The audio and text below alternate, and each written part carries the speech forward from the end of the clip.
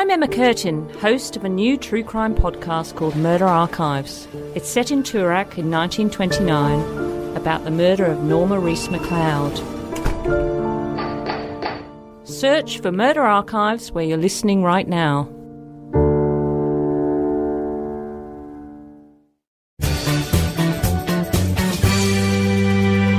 I went to buy. I know you don't drink wine. You don't drink. You No, I don't drink wine. You drink Beer occasionally. beer occasionally. I've had yeah. one beer this week at a gig. Yeah, I like to have one wine per night. Why not? Wine. Oh, there's a good name for a show. Why not? Yeah. Anyway, so, and I'll be honest with you, I don't n- know a lot about wine. Red wine? No, I don't know a lot. I had at.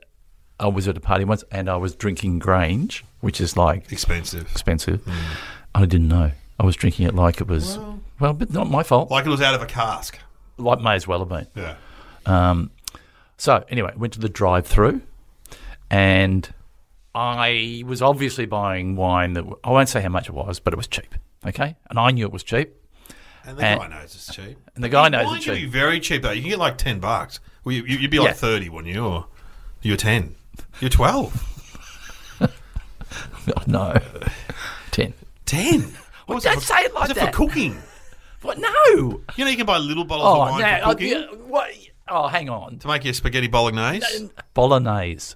Okay, Is it well, bolognese? I think you're right. Yeah, I don't know. Yeah. I made it yesterday, in fact. I reckon you'd make a great spaghetti bolognese. I do, you know what? I do. I reckon you'd be. You should have a restaurant called Dave's Old Fashioned Happy Family Meals. Like um, Skipper from Gilligan's Island, I walk around in my outfit from the Nugget or something and Yeah. say hello to people. Why is he dressed in high vis? It's his character from the Nugget. Yeah. That's his most famous role. How's the food? Yeah, not bad. what do you got? I've got sausages, mashed potatoes, and peas with gravy. Yeah. Be- Yeah. You know what be on the menu? Chicken schnitzel, there'd be Yep. spaghetti bolognese, Yeah. uh, um, a roast. There'd be a roast of the day. Yeah. We'd have roast the And yet, what would you do for dessert? Oh, well, I'm not that. Um, yeah, ice cream and fruit.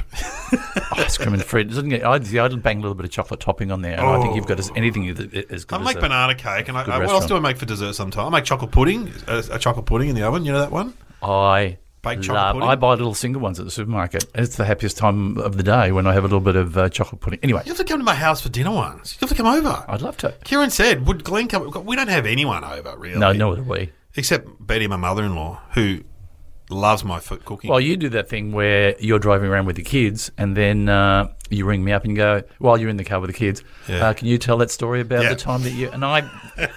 And You're very good. you go, Glenn, tell the- tell tell the kids the story about when The time you got pranked by Agro. Yeah, that's right. And, Oh, I that's a great I've got to work, work the room, which is his car. yeah. Over and also, phone. you've done Uncle Arthur. No fee. No fee. No, fee.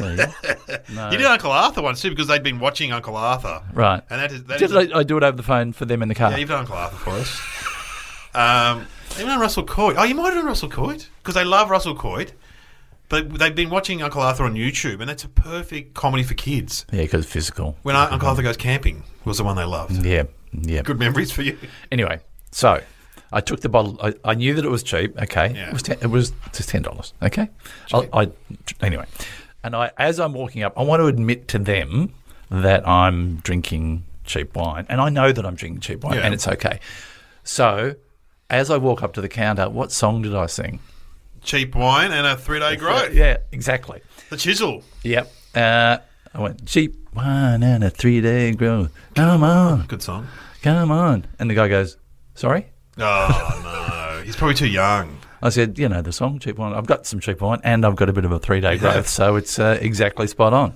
Uh, okay. Oh, Who's it by? Um, Jimmy Barnes and the Cold Chisel. Cold Chisel. No. oh, was he young? Well, he must have been, I don't know, about 20 or something. So so then not only did I feel embarrassed, so then I've doubled up the embarrassment and um, drove out with, looked around at them and they're kind of shaking their head, Yeah. bemused by that guy that plays Uncle Arthur and Russell Coy coming up. Imagine someone walking up to you and singing a song that you've never heard before. You've got to go, that's, he's a street. He's Yeah, a- there's something wrong with him. There's something wrong with him. No, he's one of those actor types. Something Yeah. weird going on there. So I did a bit of mime and did a bit of a, you know, walking into the wind for them. You know what you should have done is just pulled up and opened the wine and drank it in your car and just eyeballed him? Yeah! then thrown the bottle at him. See you later. Why, how you going there, little kiddies? You probably wouldn't remember this either. You- Oh, oh, there is- Oh, he's living in his car. Oh, there's the music.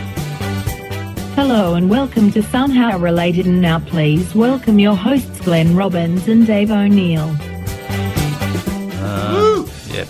She uh, she knows the time to push play, does Oh, yeah. uh, Sam. She just uh, does it appropriately, and there it is, or somehow related. Dave O'Neill, Glenn Robbins here, sitting here chatting about two topics that aren't related but are. They are. There is a there is a connection. The connection is made at the end. So don't keep listening. Yeah. It's a quick podcast. It's not a, I heard someone the other day. They said they like to listen to it in bed, and it sends them off to sleep. So I, I, I don't know what that means. Does that mean it's the tone well, of the voice? Pilates instructor said her dad's a fan of the show. He's a former media teacher Oh, in uh, uh, Newstead. Hello, Mister Shona's dad. Sorry, I don't know your name. But your your daughter's a great Pilates instructor. Are you still doing Pilates? Yeah, I didn't do it yesterday because I had something on, but I, I've been doing it for like at least five years. And How's your core? My core's rotten. yeah, I don't know because you were you were a very early Uh, when early I first met early you. conv- convert. at least twenty years ago, you were doing Pilates, and I'd Yeah. never heard of it. Yeah, I do it every night on the floor Oh, in front of the good. See, telly. you've got good posture. I've got a my posture's terrible, yeah, but um, I- yeah, no, it's. I mean, any activity for me is good. Any any exercise is good. It's Hmm. my theory. But um, and so you're doing it once a week on the reformer. well, you know, yeah, on the reformer, but also my, some of my kids are doing it now, so they go on a Thursday night because they don't do any sport, and I can see them getting bad posture as well. So I'm dragging them to Pilates. So sometimes I do it twice a week.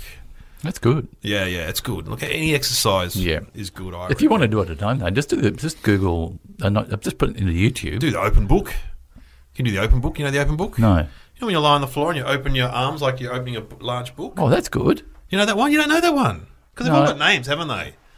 The Oh, yeah, there's the, like- the scooter. Yeah, that's the only one that I can remember. Oh, there's so many of them.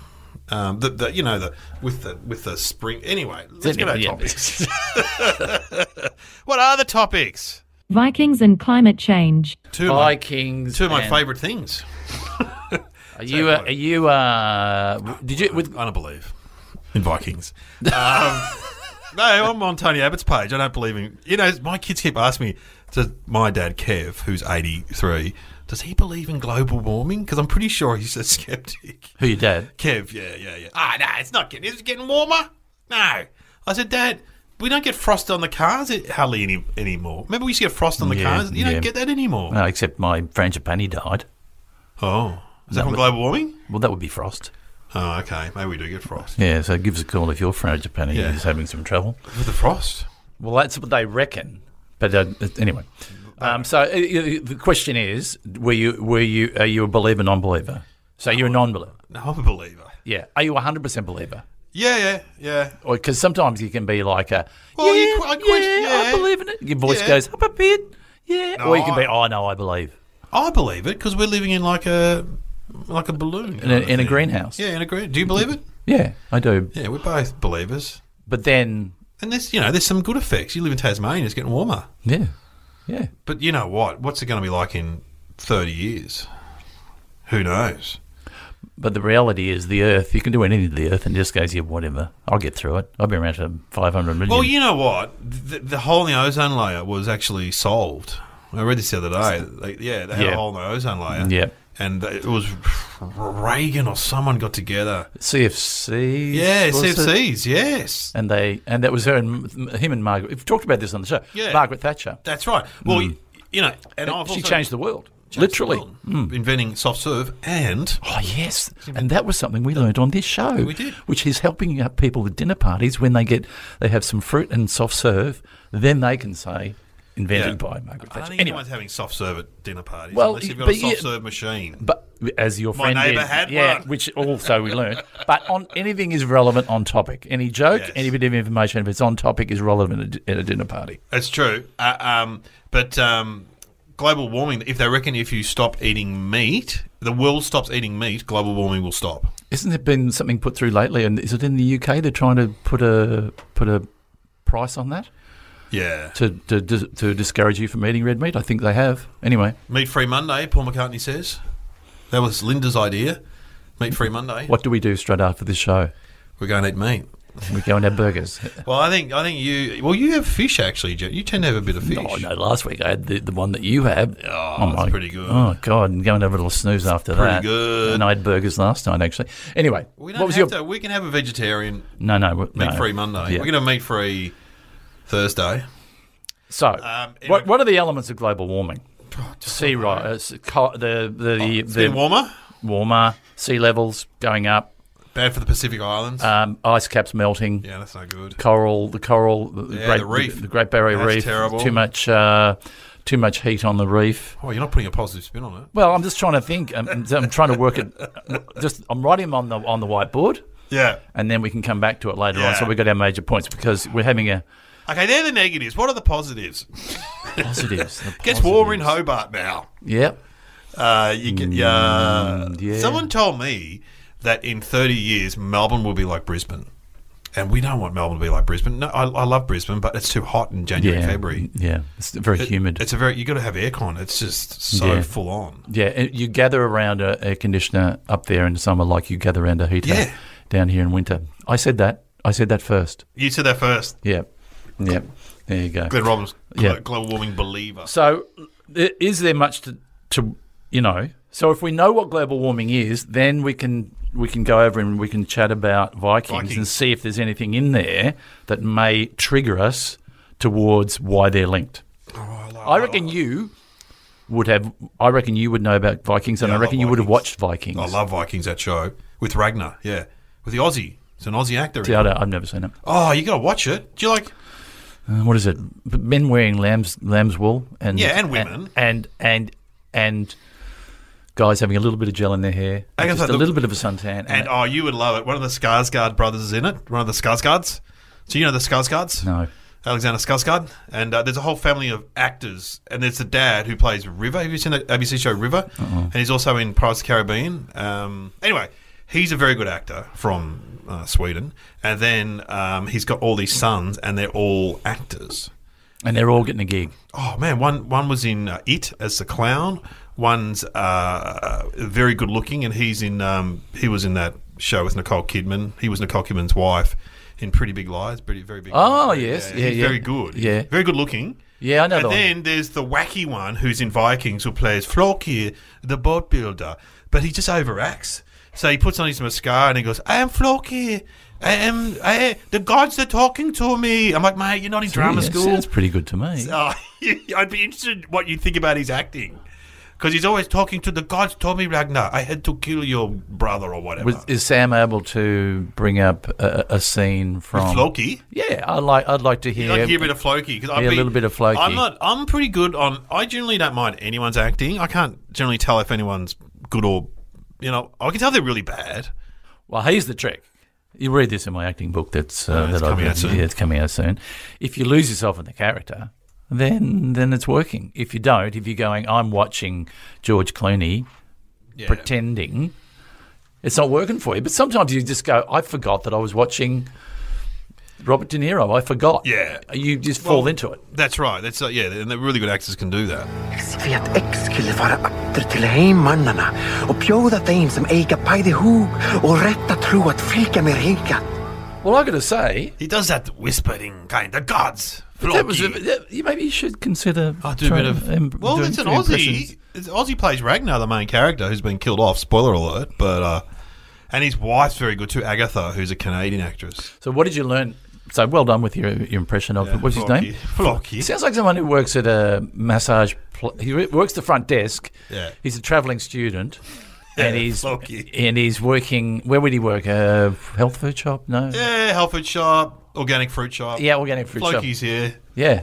Floki, got any bananas? Floki, I forgot the bananas. the gods have not spoken to me. Oh, it's something you buy at IKEA. Can I get a Floki? Have you got a Floki? It does sound like a chair, doesn't Yeah, it? Yeah, we're all out of Flokies, mate. yeah, they've been very popular Flokies. the yeah. Floki. But he, Travis, Travis Rimmel, Travis, Travis Brummel. Oh, no, Travis. It's a Travis who's the Aussie actor. Wow, you've um, you should have a, your own film show. Anyway, so what did you learn? Because I No, I don't know much about. I know Vikings. What Northern Hemisphere, cold hot water, Sweden, Norway, Sweden, Norway, yeah, sort of like noble warrior, noble savages. Were they? Were they kind of? There was a no. No. No, they were just. savage. They, I mean, they, they were just they they had no respect for uh, you know, the pagan the Christians' religions. So they would just rock up on a beach. They reckon it was the equivalent of like 9-11 happening in, in, in England. Right. That the English people and the French people were living this peaceful life, and all of a sudden these boats rock up and these full-on big blonde guys get out and women get out with swords and axes and just run up the beach. And they'd always attack the monasteries and the churches because that's where the gold was. And they just go into the church and kill all the priests and the monks and, And take then- them as slaves. Uh, But would they ever set up uh, and live there? Or they yeah, just take- eventually, yeah, eventually they, they Set up- settled. Yeah, they settled in, Ro- in in France, and they settled in England because the, the English were just sick of them and said, "I have some land," you know, just and they had settlements. In so York- they existed in, in in longboats. It was a long, yeah. because but they were very good at navigating. but where, so where were they from originally? Sweden, Norway. So they just go, hey guys, you want to get on a boat and we'll um, go out and Well, they were they were big. This is what I learned from the Vikings show on the SBS. They were big uh, farmers. So they went, but they they ran. I think this is might be. the- I don't know if this is a connection, but they ran out of land basically, and also in the winter time, their their land is no good. It's too hard to farm because it's too cold, and so they had to go out and get new pillage and plunder yeah, Pillage and and find new land. pillage and plunder, find new land. Yeah. So, I, I- yeah, I don't know. So, yeah, it's a fascinating time because then eventually what happened? They settled in France and they settled in England, and then the, the, the French Vikings were the ones who took on the British. That was Rollo. Wow, you're good. So they tied the in the longboats up and sort of said, okay, we're not going to go out anymore and just we'll go out there for a. Well, they they they took Paris. That was the thing. They, they Did they? Yeah, they took Paris, and so then, Jeez, which they- the French were very good soldiers though, but they came back a few times. They kept coming back, and then eventually the, they took. You know, they you know anyway. This is all on the Viking show. They took Paris, and then the French kind of went, "Oh, So it was a, it was a um, have some land." have some land. So a good history lesson. Oh right? yeah, yeah. It's a fascinating time. But then eventually it all just sort of settled down, and they became part of England. They became part of France, and you know. Because the, I- the only thing I had was that, you know, when I first went to a fancy dress party, I wore a Viking hat. Because you remember you could buy those plastic ones? Oh, with the horns. yeah, Which was not true. They didn't wear hats with horns. that's that's right. That's from an opera. That's from that famous Viking opera. But they were good if you were driving around your car. You had them on the back seat. You just pop them on occasionally. Pull up the lights next to someone who's been giving you some, you know, road rage, and they Well- go, "I'm not taking on the Viking." Next year I'm going to Denmark. And I'm going to go to the Viking Museum because they've got some of the long. They found some long ships in a fjord, and they pull them out of the ocean Oh, and they put be them back together. Oh, how good will that be? Be a ride. Maybe there'd be like a 3D ride where you could plunder and pl- pill- pillage and plunder. Pillage and plunder. Um, so we've got your global warming on one side, you've got your Vikings on the other. We know what they're doing. They're wandering around in longboats. They're taking over. They're not good people because they just they're chopping the heads off. Look, they were good to their own people, but they used to fight amongst themselves too. There was a lot of fighting amongst themselves. And I think their Uh. average age was, you look up the average age is like 35. They die at 35 or 40. The average Viking would die quite early. So they'd have kids quite early. The main cast was good looking, weren't they? They were good, and they all had a bit of braided hair going on. Yes, on. that's right, yeah. I'm, I'm sure there was a bit of gel in there. They had gel in those Oh, days, yeah, and yeah, there was gel. There was gel. Bit of in there. wax. Yeah, bit of bit of eyeliner, bit Yeah. of bit of makeup. Um, are you leaning towards anything? Can we can we have some thinking music? Let's have some. Let's have some Viking music. Why not? Oh, I, I don't know what what it it would is. be, but I reckon I'm going to say and- foreboding. Oh, Jeez, you're big on the impressions today. It's good. Ooh. Imagine that if you're in your monastery on, on, on the coast of England and you, you hear this. You go, oh no, What's, hey that? Dal, What's that, Gary? what's that? Excuse me. And then they just come kicking in the all- front door and People dress like they're going to a fancy dress party in a boat. Yeah.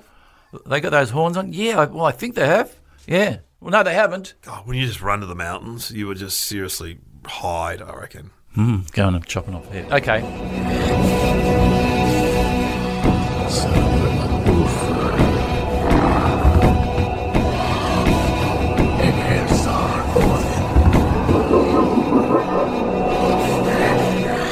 Well, that was what I thought it would be.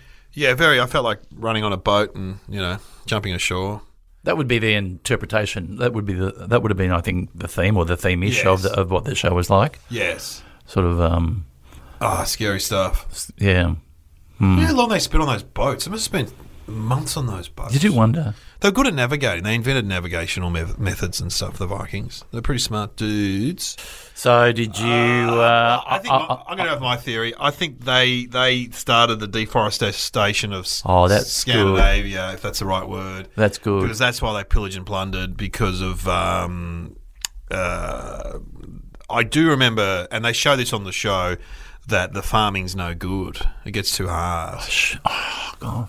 I was thinking. Anyway, that's good. I think that's. I reckon you might be on it. Okay. I should have asked Sam because I was wondering when when global warming was first recognised, Oh, that's a good question. and I'm wondering whether they were the first. You know, as they're wandering around, going, come back next year, and they go, hmm, oh, "That iceberg's a bit smaller." Ah, uh, yeah.